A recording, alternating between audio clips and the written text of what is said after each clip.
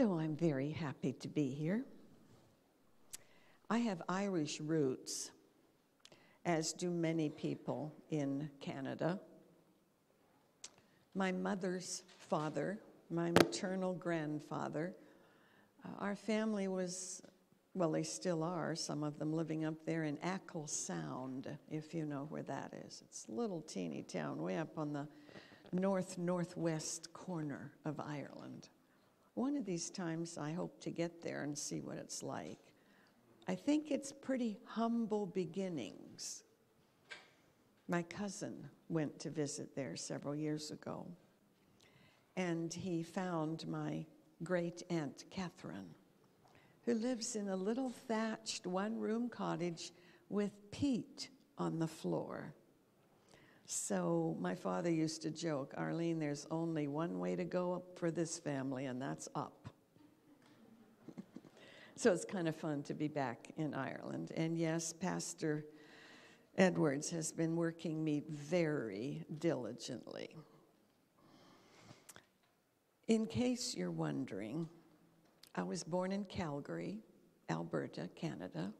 Some of you probably know where that is. My father was a preacher, a Seventh day Adventist preacher. So I'm a preacher's kid. I don't know what those words mean to you. There's a stereotype about preacher's kids, you know. I'm a preacher's kid. I tell Pastor Edwards what that means is I'm not afraid of him. And then when I was 16, my father was asked to move to New York. And so we emigrated to the United States. And it was a culture shock because even though there's just this long border between Canada and the United States, they're really very different. And uh, Canada is much more British than America, of course. and so it was a shock. And when I was 16 and my brain wasn't done yet, the kids laughed at me for the way I spoke, the way I would pronounce some words. For example, I remember asking somebody, oh, Do you have a two car or a one car garage? We called where you put cars a garage. And they started to chuckle and they said, What are you talking about? I said, You know, where you park cars next to the house. They said, Do you mean a garage? I asked somebody where the bus schedule was, and they said, What? I said, Where's the bus schedule? And they said, Are you talking about a schedule? And I remember there was a little creek that ran behind Atlantic Union College where I went to school. And I said to my roommate, Let's go down and take a walk by the creek. And she said, What's a creek? I said, You know, a little stream of water. No, she said, When something creaks, you sit on it and it makes a sound. So it's not always easy to move from one country to another, even if you think the countries are very similar. But I'll tell you, it's good for your brain. Unfortunately, I know not one single word of Romanian and the pastor didn't take time to teach me even hello. So it's his problem, not mine. All right. I've had lots of requests on how do you create new behaviors successfully with what we know about brain function. So recently I created a new PowerPoint presentation and you're the first person out first group outside of America that's getting to hear it.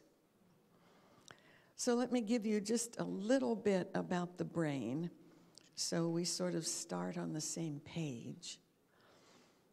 If you put your two fists together, that's the size of your brain. And uh, one teenager came up to me and said, I must be really smart because look how big my hands are. And I had to tell him that size does not necessarily have anything to do with being smart. If you pulled those two hemispheres apart a little, you could see three or four bridges that let the right hemisphere talk to the left hemisphere. And that's really important because if those two hemispheres can't talk to each other, then the right hand doesn't know what the left hand is doing, literally. So there's a minuscule number of brains that are born without that biggest bridge called the corpus callosum. And for those people, you could say, put your right hand on your left shoulder. Okay, that's easy for us to do. We don't even think about it. But because that brain was missing that bridge, the person started to move their hand, got to the midline of the body, and that's as far as the hand would go. It would never, ever go over and touch the shoulder. So it's really kind of interesting how those two hemispheres work together. If you think of your hand as a neuron, a thinking cell, well, the palm of your hand, that could compare with the cell body of the neuron, if you remember that from biology. Your thumb would represent that one big projection that leaves that neuron. And that's how information goes out of that neuron and talks to another neuron. And that's all thinking is. One neuron is talking to another neuron. You have lots of fingers on a neuron or thinking cell, 10,000 if you have stimulated your brain. And as one neuron talks to another neuron, they never touch each other. Imagine that you were meeting somebody and you wanted to say hello, so you went to give them a fist pump, which is very common in the United States now because of infections. But you don't actually touch them. There's a space between your two fists. There's always a space between two neurons. And now you have to have neurotransmitters that take the information and swim across this synapse. I think of it as Hong Kong Harbor. And they'll dump the information now into the fingers that came out of the axon of the other neuron. It's just like Star Wars. I was talking about this to a group of high school students, and they said, This is more complicated than Star Wars. I said, It is, it's amazing. Your brain is the most amazing organ in your body, on this planet, and in our known universe. And what's exciting about living now for me is that we're getting so much information about how the brain functions because of brain imaging equipment. So, some of what I'm going to talk to you tonight uh, comes from this really latest information.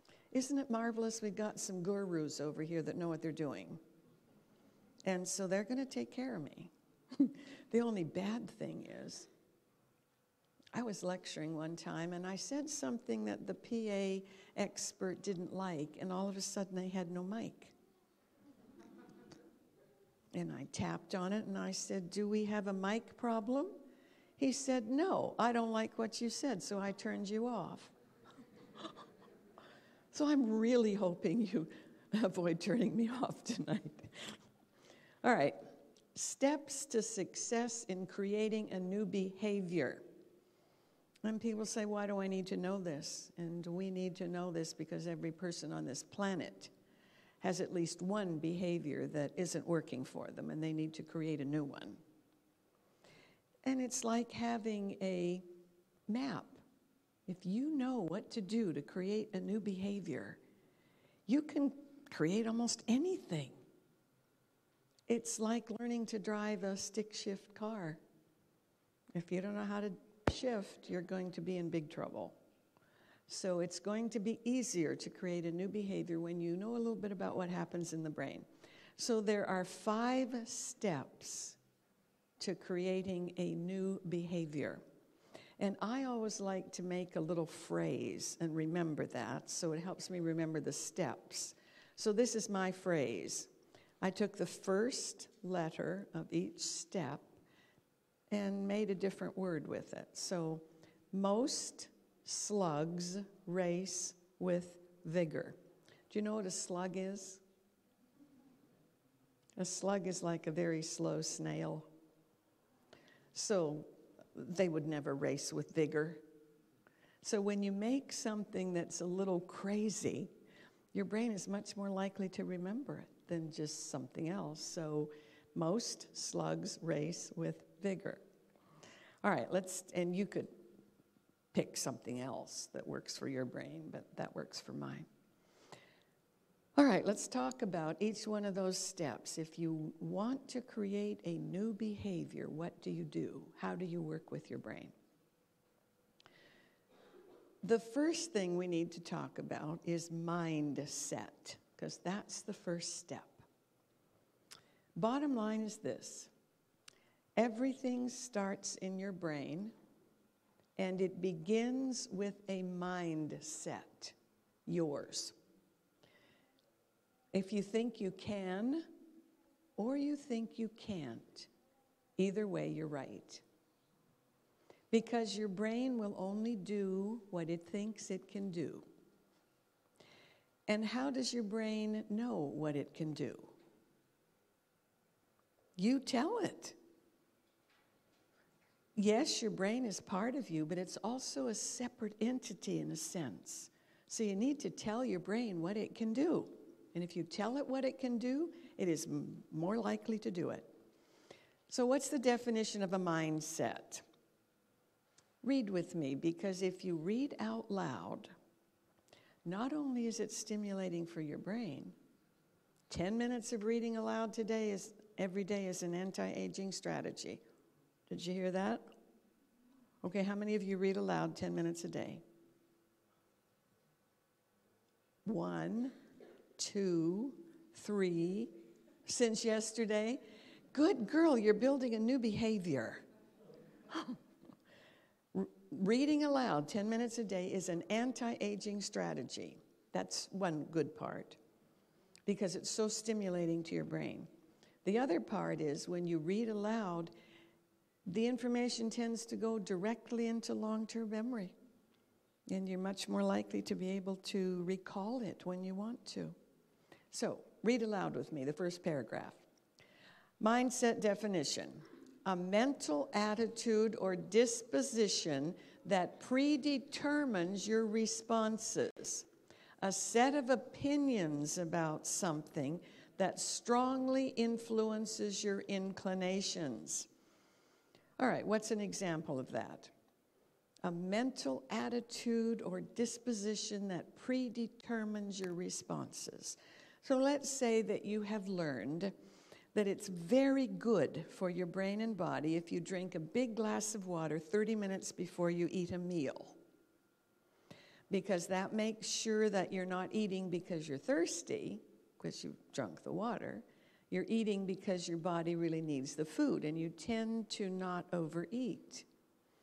If your mental attitude or mindset is, it's better for me if I drink a big glass of water 30 minutes before a meal, you're much more likely to do it. It predetermines your responses because you believe that, you have initiated that behavior. So, changing or creating a new behavior starts with your mindset. What is it that you have decided you believe and that you are going to do? I like the iceberg metaphor because the brain learns fastest with a metaphor. So here's a picture of an iceberg. Any of you ever seen an iceberg in real life? I went up to British Columbia not too long ago to visit some of my relatives, and their house is on the San Juan Strait that separates the mainland of Vancouver with Vancouver Island. And we were just looking out the window one day, and here comes this great big iceberg floating down. I'd never seen a, a real one before. And it didn't look very big. And I said, Oh, that's not a very big iceberg. but I'm seeing an iceberg. How neat. And my cousin looked at me and he said, That's a huge iceberg. He says, Look what's sticking up above the water. It's like a, a huge semi trailer. And I said, What? So he went to the internet and pulled up a picture and said, Most of it is under the water. You don't see it. That's what hit the Titanic and sank the Titanic. You only see a little bit. Okay, here's the metaphor for your brain. Your conscious mind, the part where you can, you know what you're thinking. You know, I can tell you, my name is Arlene Taylor. I know where I was born. I know where I am now. I know I'm talking to you. That's your conscious mind. It represents this little bit that's sticking up above the water. But my subconscious mind is this huge portion that's under the water that I'm not always aware of. But it thinks, even though I'm not thinking consciously. The massive subconscious mind has an uncanny sense of whether or not you mean business. So, if you say to yourself, well, you know, research says I should drink a big glass of water before I eat a meal, that's probably true, but I don't know if it'd do me much good, you know. If I feel like it, I will. Your brain is not going to build a new behavior because it knows you're not serious. It only helps you build a new behavior if it senses you are really serious about this. So that's what the first step is. What's your mindset? Are you really serious about doing this behavior? There are two mindsets in the literature. One is called a fixed mindset, and one is called a growth mindset. And if you want to do a new behavior, you need a growth mindset. People with a fixed mindset believe that however they came into the world, that's who they are, they can't change. Um, they often feel like, well, look at me, I can't be successful. This is how I am. You know, came from a really uh, uneducated family. My mother was the first female in 15 generations who ever went to college. So a lot of people think, oh, can't do this. Well, you can't if you have a fixed mindset because it says it's hopeless. I am who I am, can't do anything about it. So dump that one and develop a growth mindset which says you can change and improve through application, rehearsal, experience, vigilance, and course correction. And anybody who ever learns to do something new does so because they have a growth mindset. And that's what you need in order to change behavior. So, Dr. Dweck, who has written the book Mindset, says having a growth mindset doesn't force you to pursue something. It just tells you that you can develop your skills if you want to. It's still up to you whether or not you want to. And I want to. I love this information. So, where does a mindset come from? Hmm, probably starts two or three or four generations back because you get what's called cellular memory from your ancestors about their behaviors.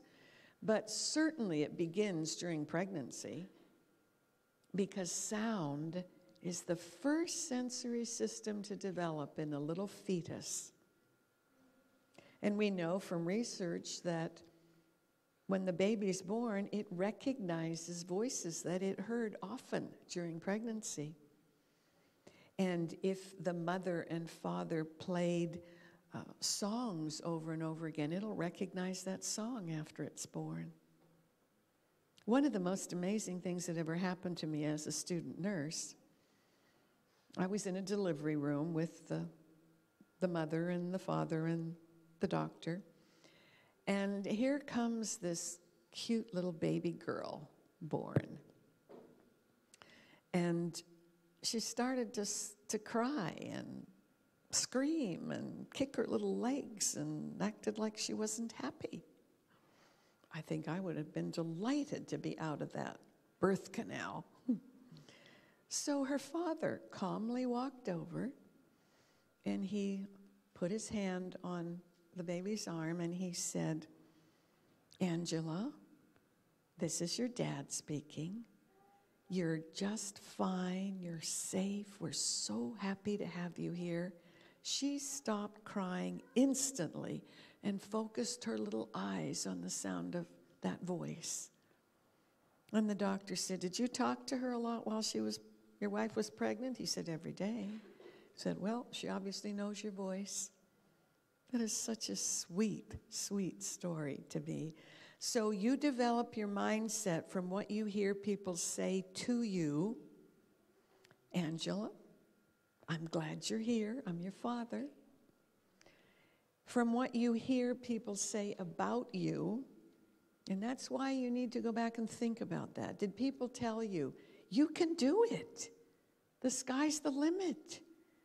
We'll help you do it. Or did they say to you, you're too dumb to do that? What did they tell you? Because if they told you you were too dumb to do it, you probably developed a fixed mindset. But the good news is you can change that just because that that's what you heard. You don't have to believe that. You do not have to believe everything anyone tells you about yourself. And you develop a growth mindset by watching your parents and the people took care, who took care of you, and how did they behave? Did they say, you know, I think there are more opportunities for us in America than there are in Canada, so we're going to move to America? Certainly, that was a huge benefit for me when my father and mother decided they would emigrate to the United States. Because I doubt I would be a brain function specialist today if I had stayed in Canada. Because there is a different expectation for women in Canada than there is in the United States. So I'm delighted that they moved to the United States. I still go back to Canada, although they changed the flag so it doesn't feel the same. I mean, I used to salute the Union Jack in the corner of the Canadian flag. And sometime after I moved to America, they changed the flag. Do you know what it looks like now? It's a maple leaf. Okay, I like maple trees, but what in the world is a maple leaf? I have no emotional connection to the maple leaf, none, what's, none whatsoever. So when I see the maple leaf, it's no big deal. But when I see the old Canadian flag, I can almost start to tear up because I saluted that flag for 16 years. Studies with four year olds. This is huge because the brain matures from the back to the front, and there's not a lot. I mean, the brain is growing really quickly, but when you're four, you know, there's not a lot of development that's made. So the teacher says to this group of four year olds, You have a choice, and choice is important. I encourage you to start giving your children choices from the time they're tiny. Two choices only, because you only have two hemispheres. And it doesn't matter what they are, it can be really simple. You know, I told one mother, take a fork with a blue handle and a fork with a red handle and hold them both, both up and say to the one year old, Which fork do you want? Doesn't matter to you, but give them a choice so they start learning to make choices. And if they pick the red one, you put the blue one away. That was their choice for today. Another day, they might make a different choice. So the teacher said, You have a choice. They had just done a jigsaw puzzle that was very easy to do. And the teacher said, You can do another easy jigsaw puzzle or redo this one, or you can try a harder jigsaw puzzle. Then they watched what the kids would choose. And children with a fixed mindset chose to redo the puzzle that they had just done because they wanted to look smart. And if you've already done it once, it's, it's easier to do it again. The kids with the growth mindset chose the new, harder puzzle so they could stretch themselves and become smarter. Can you see how that would work? Now they grow up and they're in a job and there's something they've never done before and they have the option to do that and maybe get more education in advance. But they don't want to do that. They just want to do really good at what they know so they appear smarter. Because when you learn something new, you don't learn it instantly. You'll make mistakes and so on. But it's good for you to stretch your brain. You're only going to do that if you have a growth mindset. There's a book written called Peter Pan. It's an imaginary story about a boy who could fly. And the author made this statement that so aligns with current brain function information. He said, The moment you doubt whether you can fly, you cease forever to be able to do it. The moment you doubt that you can learn to do something, you probably never learn to do it. The moment you doubt that you can create a new, healthier behavior, your brain isn't going to help you do it. Because your brain can only do what it thinks it can do and how does it know what it can do? You tell it. So, what do you want to do? Doctors Tanzi and Chopra wrote a book called Super Brain recently. They're brain function researchers. And this is what they say What do you want to do? What behavior do you know would improve your life? Maybe make you more healthy uh, make your relationships better, maybe help you get a better job. If you are not serious and think you can't, or if metaphorically you're just sitting on the fence, eh, not sure which way to go, your brain won't help you. And that's where we get this saying that I love your brain can only do what it thinks it can do. And you tell it what it can do how do you tell it what it can do? Brand new research about that. So here is a cutaway, if you will, of the brain. So, this thinking part of the brain, I just took it and put it on a scanner, took a picture of it, then I cut it up and pulled the sections apart so that you could see that there's three functional layers of the brain. You can even think of it as your left, your left wrist is this first or reptilian layer.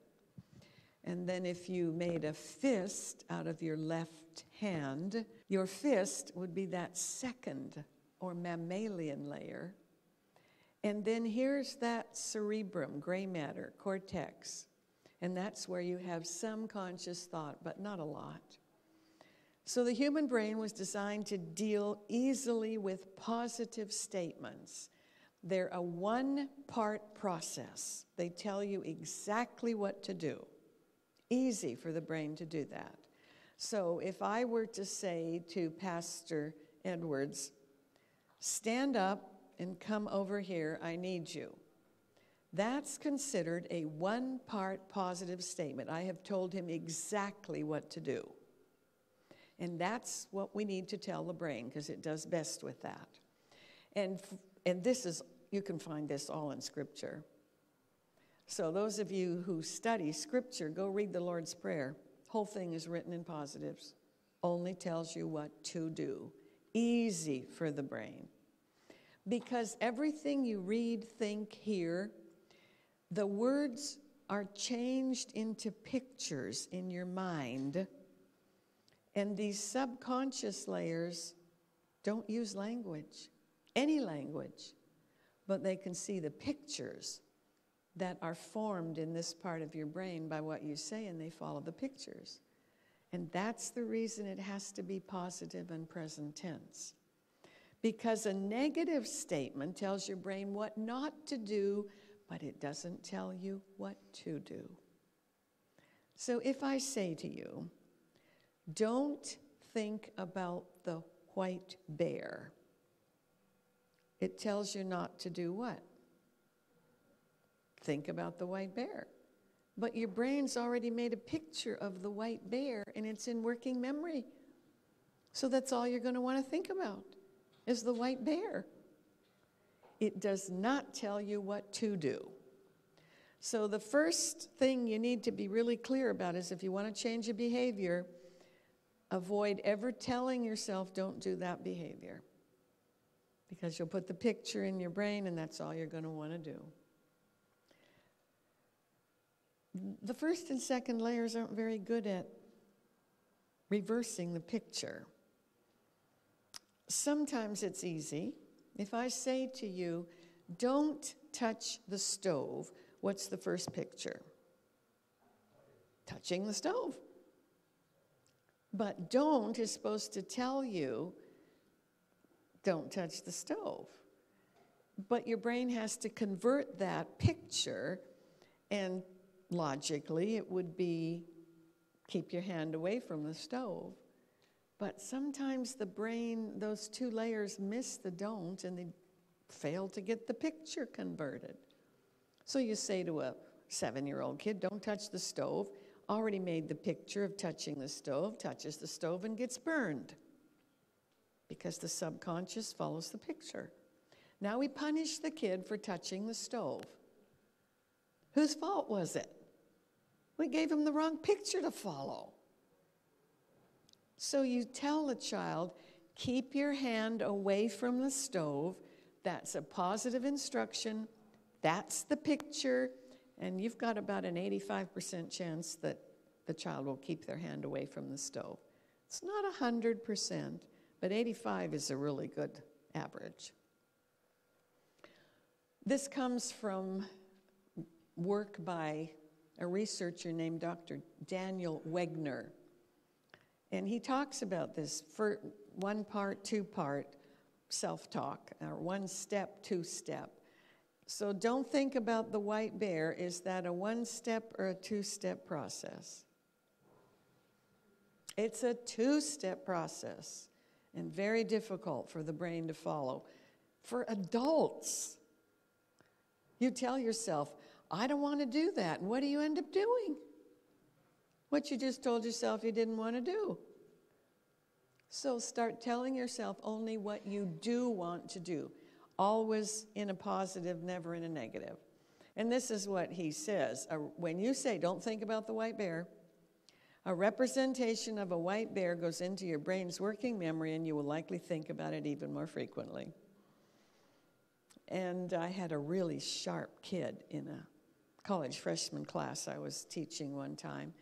And uh, I said, Don't think about the white bear. And he immediately said, Okay, Dr. Taylor, tell me what you want me to think about. I said, Good for you. And one of the other students said, Oh, probably a brown bear or a black bear. And he said, Only if she wants me to think about a bear. I thought that was brilliant.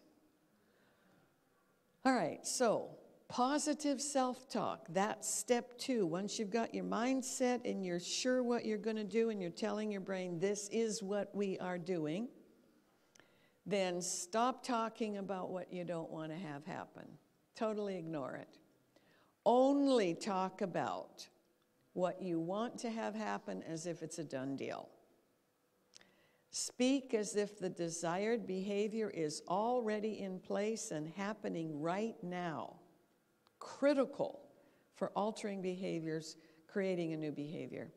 Use short, positive, present tense words.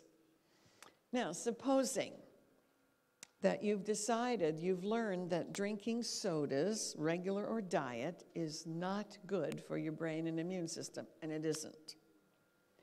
If you say, don't drink sodas, what's the picture? Drinking sodas, absolutely. So you would say your first name, followed by a you, because you are talking to your brain. Maria, you drink only water today. You like the taste, you feel good. Only tell it what you are doing, even if you haven't started doing it yet. So we got a group of kids together and we had them walk along a two by four. And every time somebody called out, don't fall, somebody fell off the two by four because there's the picture of falling. Well, Mark, you are walking the plank successfully. You are having fun. Almost always they made it to the end of the plank. Parents, teachers, and caregivers who are patient teach children the unemotional, useful, step by step language for mastering any task through role modeling effective self talk and talking to others. And then the children start learning to do that for themselves. And that's often, if they've got parents and teachers like that, that's often how the next generation gets more successful than the first one. So that you might hear the child say, Jack or Jill, you can do it. Try again. And that's what the well taught child is more likely to say to him or herself if you're role modeling talking like this. There was an amazing study by a researcher called uh, Ethan Kross. Took a group of students, high school students, divided them into two groups, and he said to them, All right, here's your assignment. You have five minutes to prepare to give a five minute speech. They told one group, Tell yourself, I am giving a speech. The other group, you say, Arleen, you're giving a speech and you're doing a good job. Then they actually had them do the speech, and they brought in um, judges to judge independently the speeches, and this is what they found. Participants using their given name and the word you, talking to their brain, performed better on the speech, engaged in far less rumination after, saying, Ooh, I didn't do such a good job. That was embarrassing. I knew I couldn't do it. Uh, experienced less depression, perceived less shame for mistakes they made, and on and on and on. But those using I and me felt inadequate and gave poor speeches. So that's the research. So learn how to talk to yourself. Dr. Kross says your brain is a sponge. You know what a sponge is? It soaks up water. Well, your brain soaks up what it hears, what it reads, what it sees. And when you use I and me, it hooks into your self esteem level. So if you have poor levels of self esteem, I don't think I'm very good at this, I'm not sure I can do this, I don't know how smart I am, you usually do a much poorer job. So, using first name and you empowers the participants so that what others see as a threat, they view as a challenge. And that works for anybody of any age. When you talk to others, you tend to talk to them the way you talk to yourself. And you may not realize that, but you do statistically. So, first of all, you teach yourself to talk to yourself in ways that get your brain's attention. And then you're more likely to talk to other people like that. And again, it's don't forget your homework, and what's the picture? Forgetting your homework. Or, Mary, put your homework in your book bag. Uh, don't miss the target, and the picture is throwing the dart and missing the target versus Jim, Aim for the bullseye. You might not hit it every time, but statistically, you'll get a lot closer to it than if you tell a child, don't miss the target. This was an interesting one. I don't want to yell at my children, or Jill, you speak kindly to the children.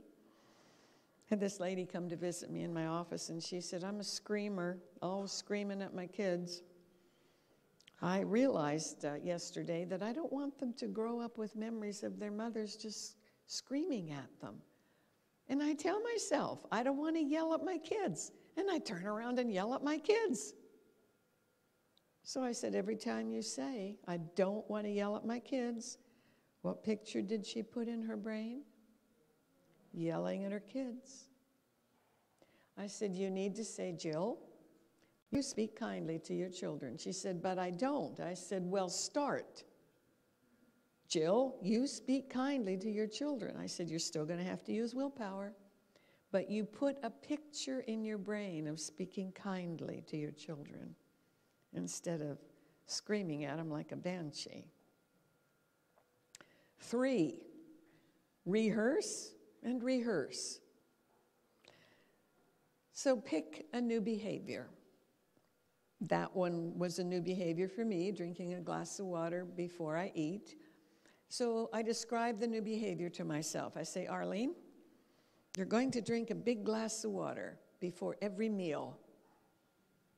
You know that that's going to keep you from having a dehydrated brain that's shrinking away from your skull, which is an ugly thought.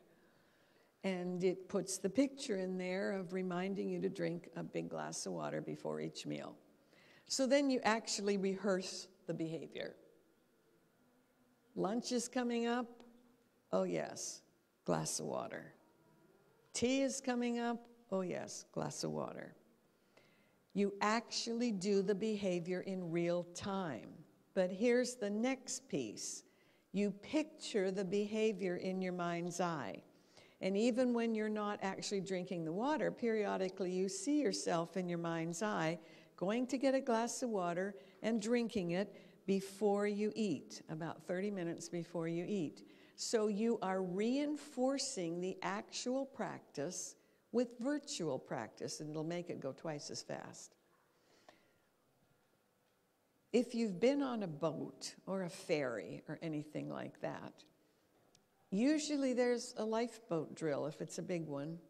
I was on the QE2 some years ago lecturing on a trip from New York up to New Brunswick.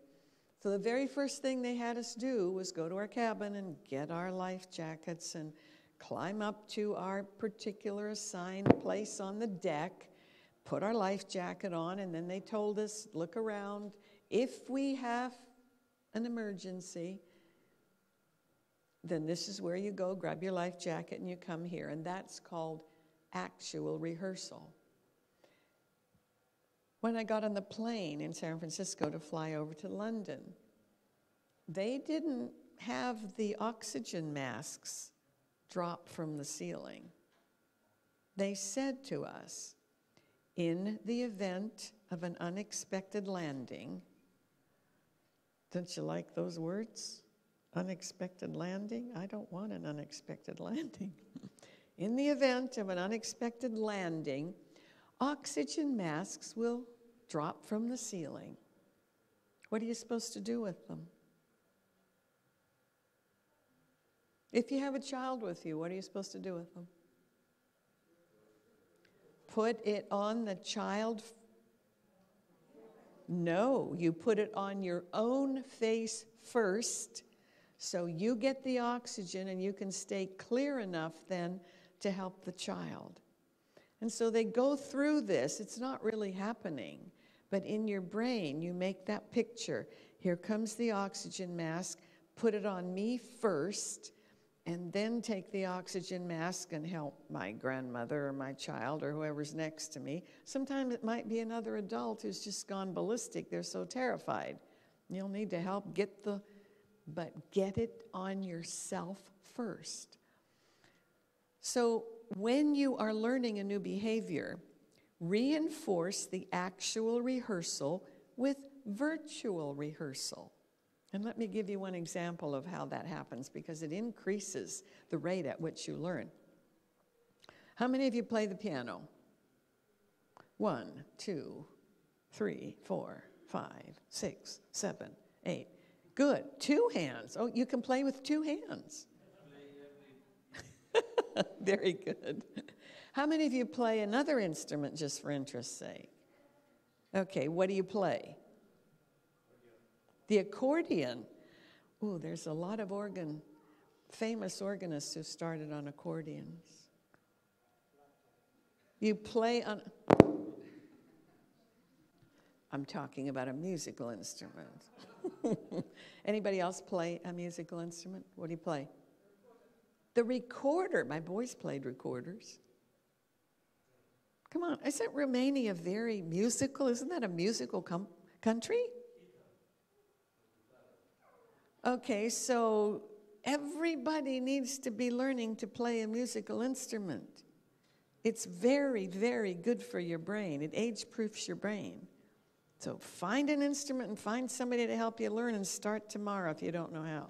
All right, so what they did was took two kids about the same age who were taking piano lessons and they were about the same ability at the moment. And they asked one of them, here's a piece of music. I want you to actually practice the piano for two hours a day for seven days. And they did a brain scan before the child started practicing for those 14 hours. And when the child was done, they did another brain scan, and they could actually see in the brain's cortex how it had reshaped itself to learn that piece of music after just 14 hours of practice. Then they took another child and they said to them, Here's the piece of music. We don't want you to go near the piano for the next seven days. But we want you to prop this piece of music up maybe on your bureau. And we want you to spend two hours a day for seven days just looking at that music and in your mind's eye imagining that you're playing it. And they took a PET scan before he started and after he started, and the virtual piano practice caused the same reshaping of the brain's motor cortex. So, do the practicing really, and then do it in your mind's eye, and you will accelerate the rate at which you learn. Amazing. When you are learning a new behavior, live a balanced lifestyle. Avoid exhaustion. Get enough sleep for your brain because every period of exhaustion is followed by a corresponding period of depression. And the exhaustion tends to lower levels of a neurotransmitter called serotonin. And you need a certain amount of serotonin to be happy. And so as that falls, you can get depressed. And then it's really hard to learn a new behavior when you're depressed. I don't know if anybody's been depressed, but if you're depressed, you just don't feel like doing anything. So if you're learning, trying to learn a new behavior, and you get exhausted and then you get depressed, it's going to be more difficult for you to learn. All right, willpower. Willpower is such an interesting mental faculty. Willpower is believed to be housed right behind your, your forehead.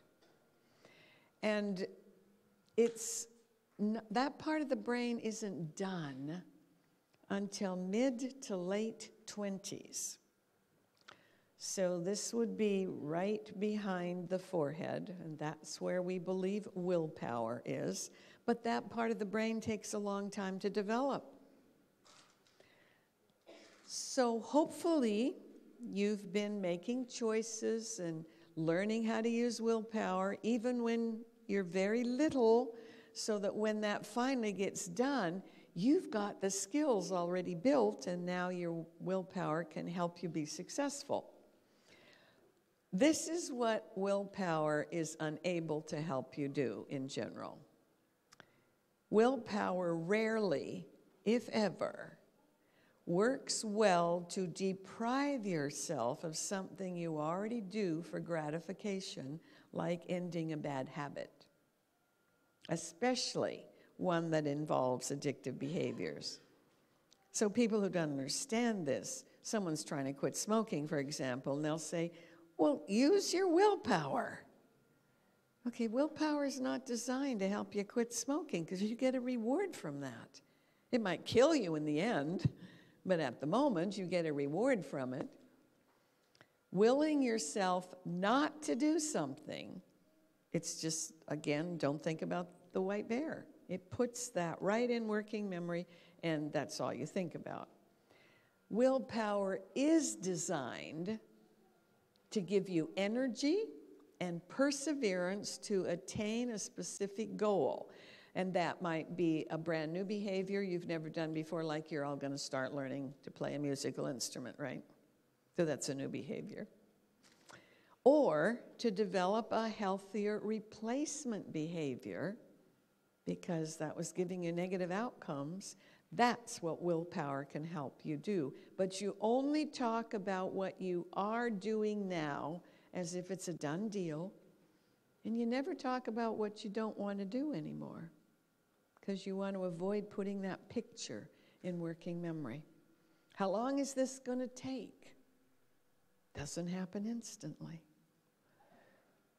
I have come to the conclusion from research that probably about 12 weeks is what you're going to need to have to really implement a new behavior and have it in place.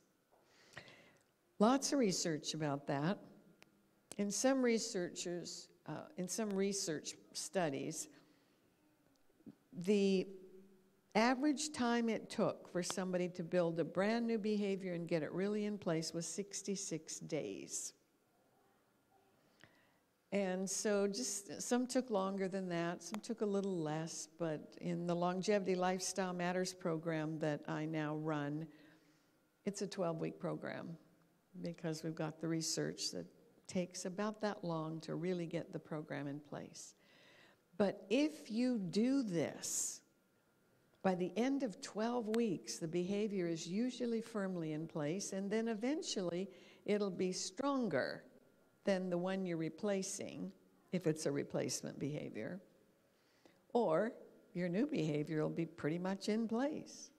And then you just keep on doing it for the rest of your life. So, step number five be vigilant. I like that word, vigilant. Isn't that what the the 10 virgins with their oil lamps were told to be vigilant. Pay attention, stay aware.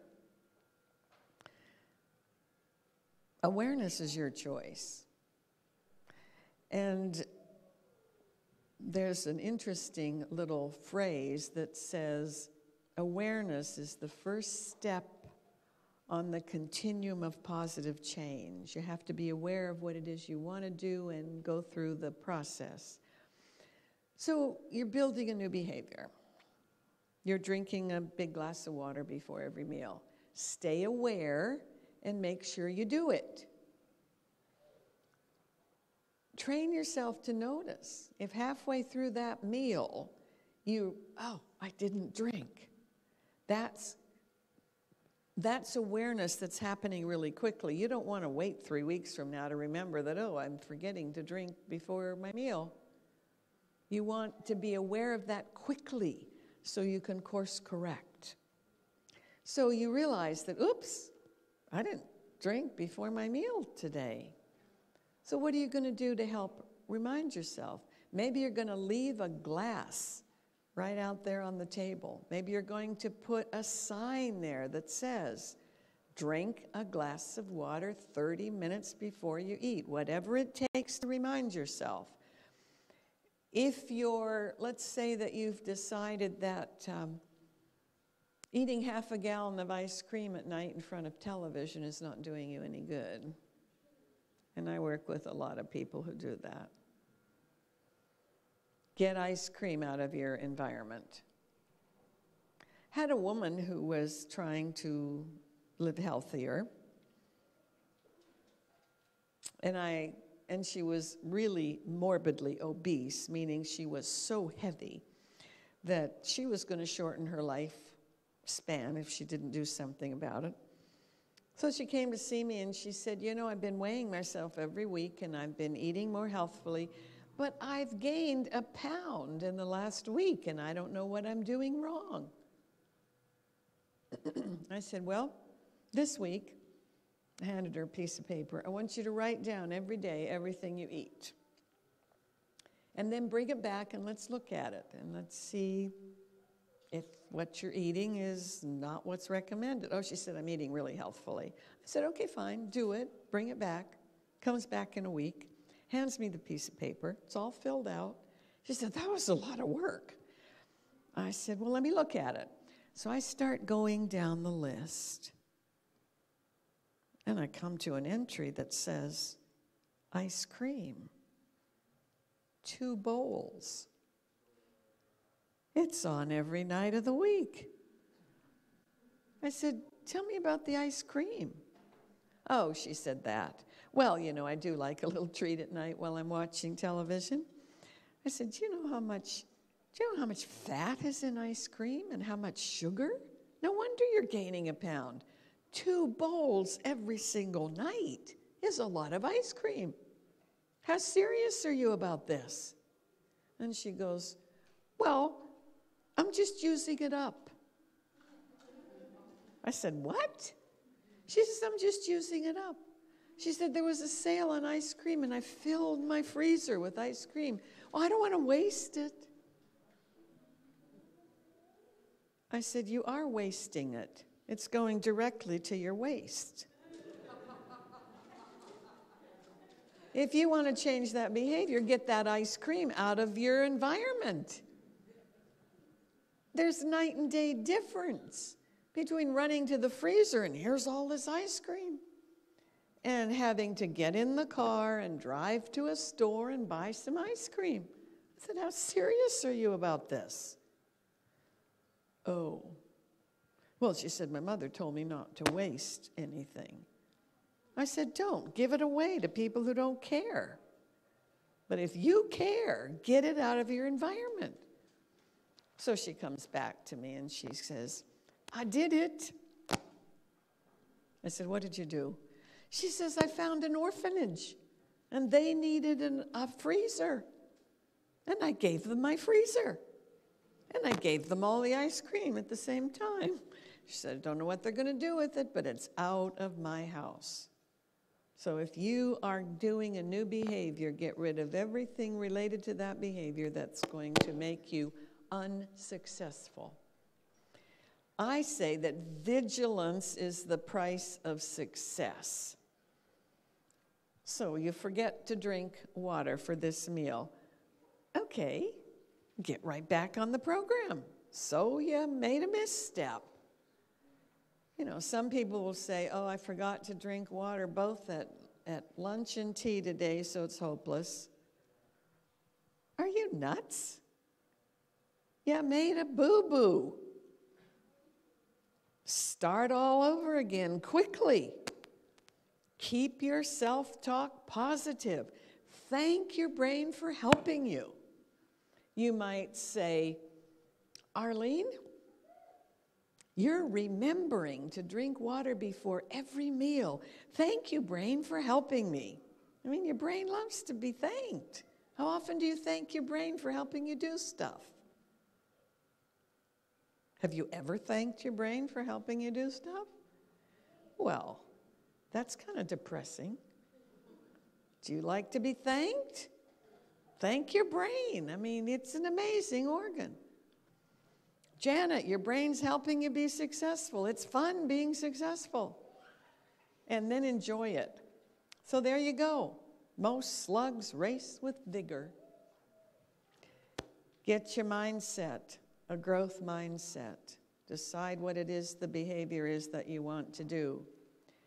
Talk to yourself the way researchers have found that enhances your risk for being successful. Arleen, you are drinking a glass of water before every meal. You're keeping your brain hydrated. Rehearse. Every day you do it. If you forget for a meal, do something to help you remind help remind you for the next meal. Use your willpower to help you do the behavior. Forget what you don't want to do. Concentrate on what you do want to do. And then stay aware. Awareness is vigilance is what you need for success, and being aware of what you're doing is part of that. Okay, if you got it?